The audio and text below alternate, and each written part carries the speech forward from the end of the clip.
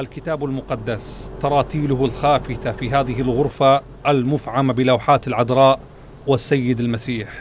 ما هي إلا طقوس يمارسها موفق يعقوب مع كل توقيتات عاشوراء. الحسين مدرسة علم الأجيال.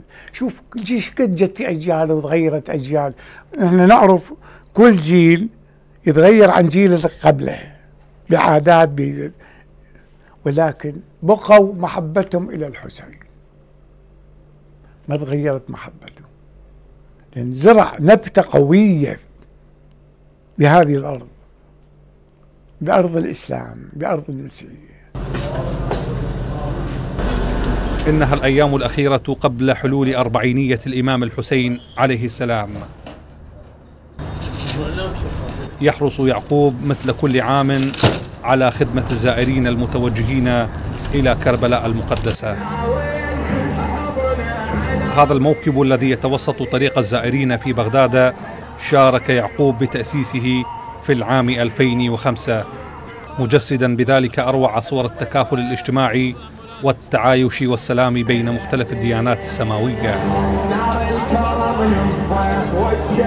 كل من يخدم الحسين إلى مكانته أمام الله لأن الحسين هو القائد المعلم لهذا الناس جميعا. من جميع الأجيال. وهو اللي خلى الإنسان المظلوم أن يثور على ظالمه.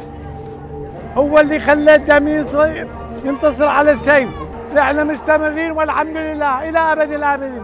كل ما إحنا نمشي على هذه الأرض نحن نخدم الحسين. نخدم الله والحسين.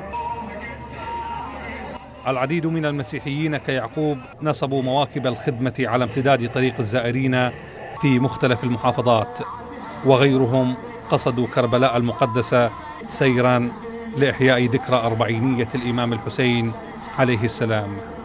علي الأحمد العراقية الإخبارية بغداد.